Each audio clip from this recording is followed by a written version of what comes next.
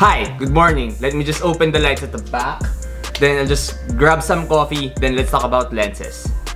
Alright, I'm just waiting for my coffee to boil. I open the lampshade at the back. I know it doesn't make a lot of difference, but for me, it, it matters when your backdrop has sufficient amount of lighting.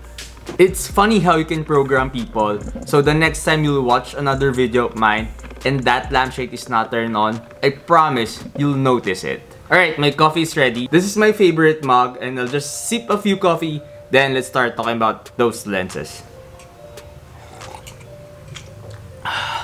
If you are looking at the Canon EF-M lens light and you're thinking of a lens that you want to use for your YouTube videos, I think the two lenses that really stands out is the 11 to 22mm and the 22mm. Now, the ultimate question you have to ask yourself to figure out what lens to get between those two is what matters to you the most. Is it the ultra wide angle look which most YouTubers use when they are vlogging or a prime lens that has a low aperture and gives you a crisp, sharp image?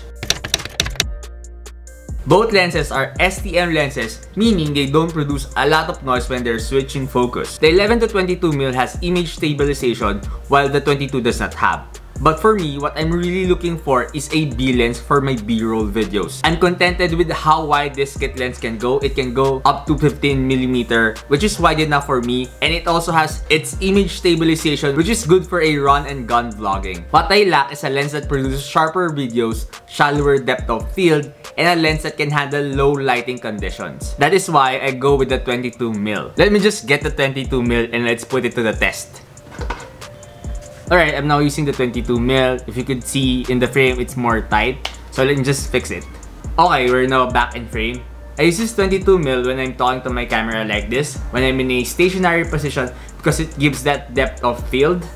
And I also use this for my B-roll clips. I also use this lens, at 22mm, in a dark lighting condition. So let's try it out. Let's go to a darker place here in our house and let's test it against the kit lens. Alright, this is the 22mm. I'll dictate the setting that I used. I use a shutter speed of 1 over 50, an aperture of f2, and an ISO of 2000. So now let's use the kit lens. I'm now using the kit lens. You could see it's now wider. I'm now using a 15mm focal length. Now, let me dictate the settings that I used. My shutter speed is at 1 over 50. My aperture is at f3.5. My ISO is 4000. So I hope there's not noisy or grainy. So yeah, let's go back.